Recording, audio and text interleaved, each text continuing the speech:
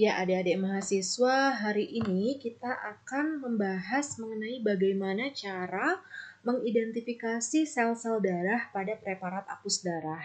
Ini merupakan salah satu kompetensi pembelajaran yang harus adik-adik capai uh, dalam praktikum uh, histologi blok BMS uh, mengenai materi darah. Ya, sebelum baik Sebelum kita belajar untuk mengidentifikasi bagaimana cara membedakan sel-sel darah, nah di sini saya akan mereview sedikit mengenai uh, materi perkuliahan saya kemarin tentang uh, apa saja komposisi dari whole blood ya atau uh, sampel darah dalam hal ini adalah sampel darah tepi atau sampel darah perifer.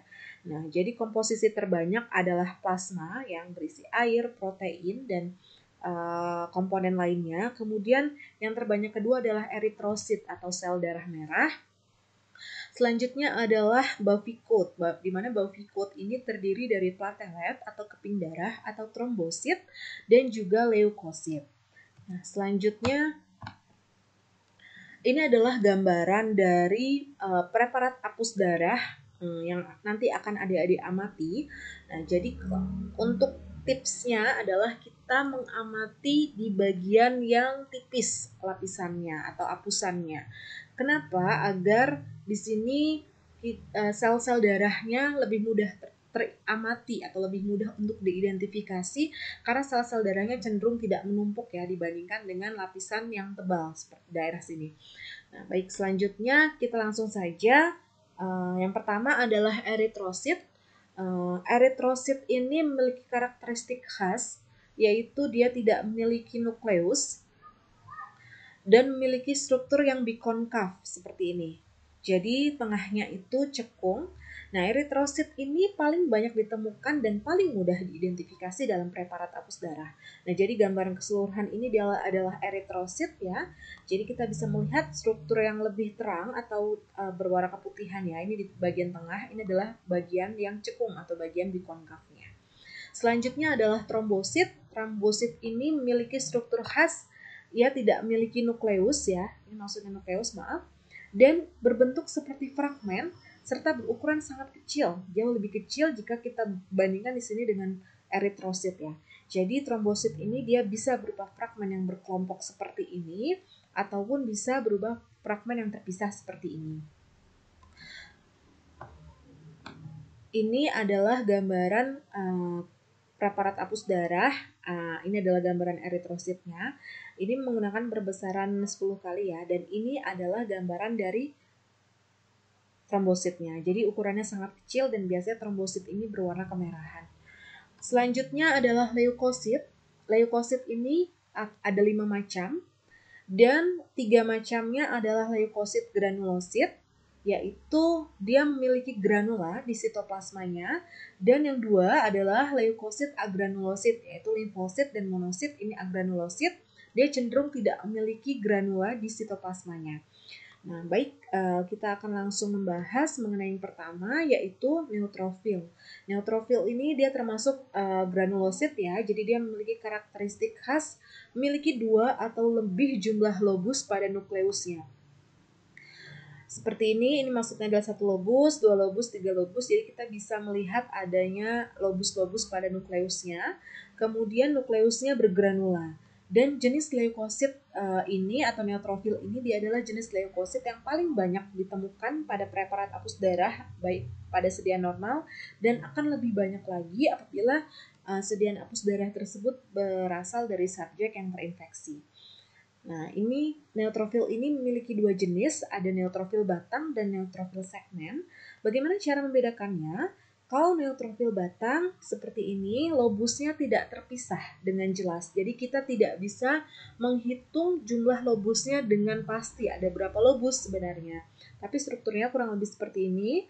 Kemudian uh, kalau neutrofil segmen, kita bisa menghitung jumlah lobusnya dengan jelas. Atau lobusnya dia terpisah dengan jelas dan tapi dia tidak terputus ya jadi biasanya ada struktur jembatan penyambung di tengahnya nah biasanya neutrofil ini uh, meskipun dia disebut memiliki 2 sampai 5 lobus tapi biasanya jumlah lobus dari neutrofil ini dia lebih dari tiga jadi untuk yang berlobus dua itu sangat jarang ditemui. Kemudian selanjutnya adalah eosinofil. Nah, eosinofil ini merupakan jenis leukosit yang cukup jarang ditemukan pada preparat apus darah yang normal. Dan dia memiliki ukuran yang sama dengan neutrofil, eosinofil ini.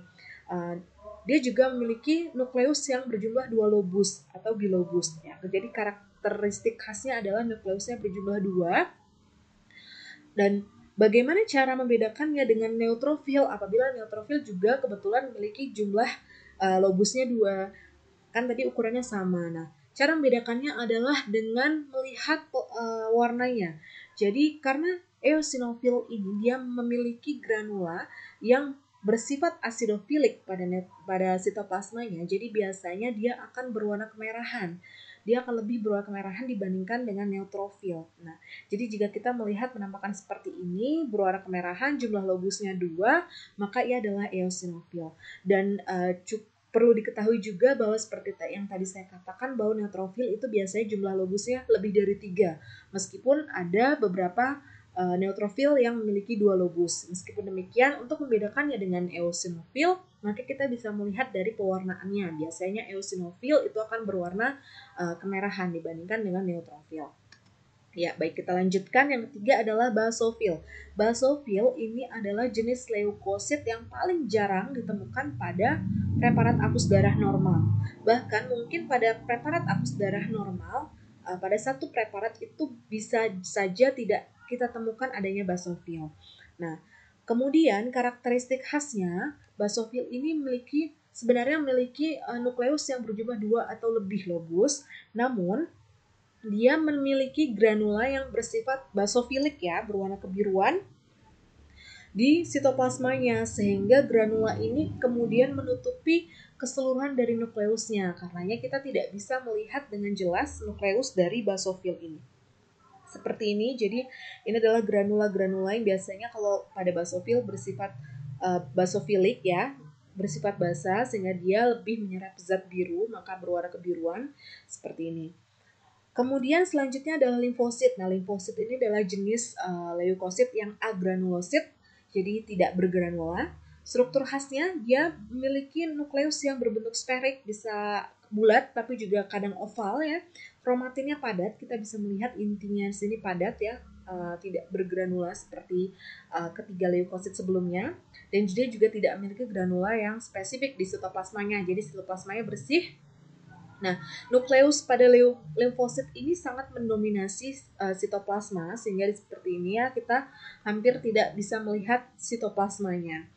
Nah, ukuran dari limfosit ini juga bervariasi. Kita bisa menemukan ada yang kecil, sedang, dan juga ada juga limfosit yang besar. Dan limfosit ini uh, cukup banyak kita lihat pada sediaan apus darah yang normal dan akan lebih banyak lagi apabila uh, kita melihat pada sediaan apus darah uh, dari subjek yang terinfeksi.